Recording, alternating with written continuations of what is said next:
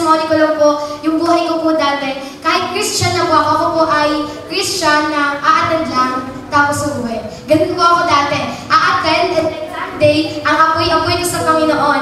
Tapos Monday to Saturday, ako po'y gumagawa ng kasalanan. Alam niyo po, kahit Christian na ako, iba po pala talaga na meron kang religion sa meron kang relasyon sa Panginoon. What I mean, sa Christian, di ba po, pumasok po ako noon, hindi, hindi ako nag-develop ng relasyon sa Panginoon. Kahit Christian na po ako, kilala ko si Lord, ako po ay bandage ng sadness.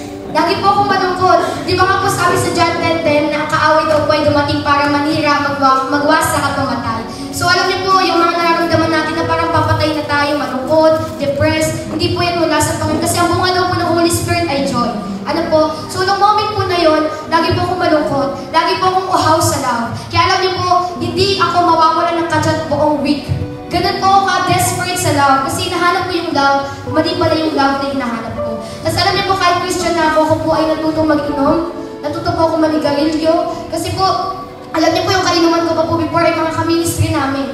Music ministry pa po. To the point na, kunyari, Sunday ngayon, uuwi kami, then mag-iinom kami, di namin nasasabihin, itatago namin yun. At alam niyo po, bandage din po ako na, na, na, na experience ko po manood ng mga hari ng panood din. And then, grabe, sobrang tamad ko sa bayan. Alam mo yun, ang sipag mo sa church, tapos gagawin mo ng bahay, ang tamad-tamad mo na. Alam niyo po, ganun nagalit sa akin talaga yung magulang ko. Then, then ganun pa ang nangyari. And then, alam niyo po, nung moment na napagod na ako. Kasi may moment na yon na umiiyak ako sa Lord. Kasi sabi ko, Lord, sabi ko, Panginoon, ang, bu ang bunga ay buhay. Panginoon, ganito yung nangyayari sa akin. Nahihirapan na po ako. Paulit-ulit na lang. Panginoon, malulungkot ako, maghahanap ako ng magiinom ako kahit alam ko namang bawal. Alam niyo po, tuwing Sabado, gagawa ko kasalanan, tatayo ako sa pulpit, sobrang condemn na condemn ako. Kasi bakit gumawa ako ng kasalanan? Alam niyo po, sinabi ko sa Panginoon, sige Panginoon, kung talagang buhay ka, kung talagang kaya mo pa akong baguhin, baguhin niyo po ako. At the moment na nag-decide po ako na isuko yung mga bagay na isuko dapat sa Panginoon, tinigilan ko po yung mga kachat ko. And then alam niyo po, tinigilan ko na yung mga bagay na iyon. Alam niyo po, nagpadala ang Panginoon ng lingkod niya. Pagka-pray ko po, gano'n nagpadala ang Panginoon ng lingkod niya. And then alam niyo po, nung moment na yun, pinag-pray niya ako.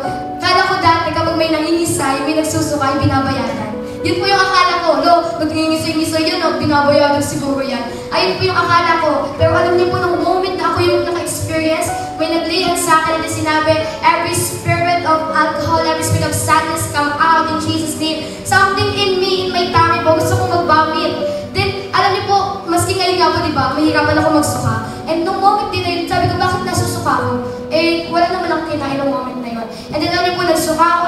ako, tumapa talaga ako sa lupa.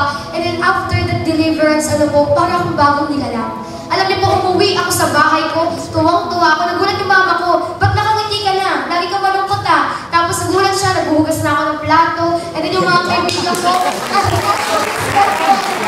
kumapit ako sa Lord. So yung mga kaibigan ko po, nagtataka sila, dati my day, walang sad my day kasi ang ginagawa ko po, ako po ay bandage ng TikTok. Ba po, ak- mas madami po yung oras ko sa pagti-TikTok kaysa sa pagbabasa ng Bible.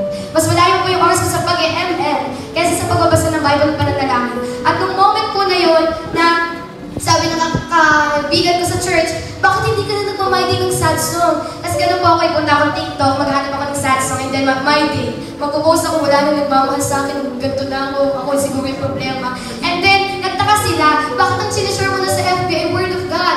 Bakit ang saya-saya mo na,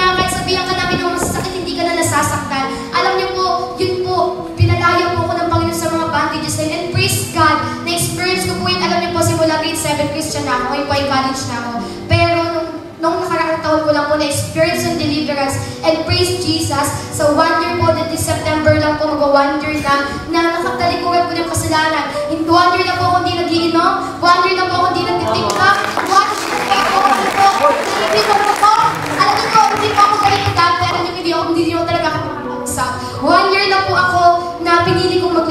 Panginoon kaysa sa gumawa ng mga bagay na pangkabataan. Alam niyo po, may kalayaan po, may kalayaan po sa Panginoon. Bakit ko po ito sinishare? Bakit po kami nandito? Kasi gusto po namin ibigay ito sa inyo. Kasi available din po yun. Wala pong favoritism si Lord. Ano po, siguro po may moment na narinig talaga ng Panginoon yung cry mo gabi-gabi. Na ganito na lang ba? Ito ba talaga yung Christian? Bakit malungkot ako? Bakit lubog ako? Bakit bandage ako sa sin? Kilala ko naman si Lord. Kasi alam niyo po, na-realize ko na hindi lahat na tumatawag sa Panginoon ay papasok sa kaharian ng langit. Even sinabi na nagpalayas siya, di mo nagpagaling siya, nag-church siya, alam niyo po hindi daw po tumatawag sa Panginoon. Kaya nung moment po na yun, tinulungan po ako ng Panginoon. Ngayon po, naglilingkod po ako sa Kanya.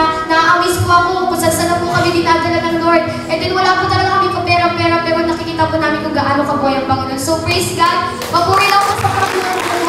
Thank you, Jesus.